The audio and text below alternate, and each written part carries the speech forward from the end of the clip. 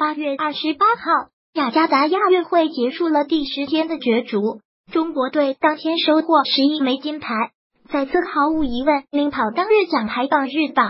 本届亚运会表现不俗的日本队爆冷，在一天的比赛中没有收获金牌，只获得两枚银牌、六枚铜牌，而韩国队取得了四枚金牌，缩小了与日本队金牌数量的差距。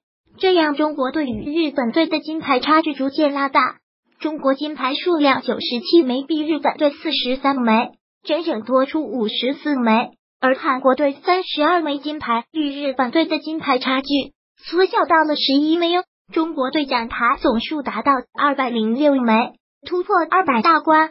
不过，比赛进入第十天，中国金牌数量没能破百，这也有些意外。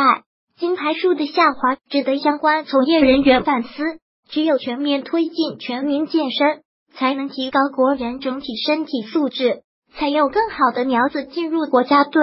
获奖回顾：中国乒乓球女团、男团在决赛中均以三比零战胜各自对手，轻松摘得冠军。乒乓球霸主地位不容撼动。跳水项目，中国队首秀便将金牌全部收入囊中。为跳水项目起了一个好头。此外，中国女足击败中国台北队，闯进决赛。本届亚运会，中国女足五场比赛全胜，近三十一球零失球，一路碾压进入决赛。决赛中的对手将是卫冕冠军日本队。中国台北十三金排在第六位，中国香港四金排在第十三位，中国澳门还是一块金牌。这个比赛是中国台北在羽毛球女子单打项目获得金牌。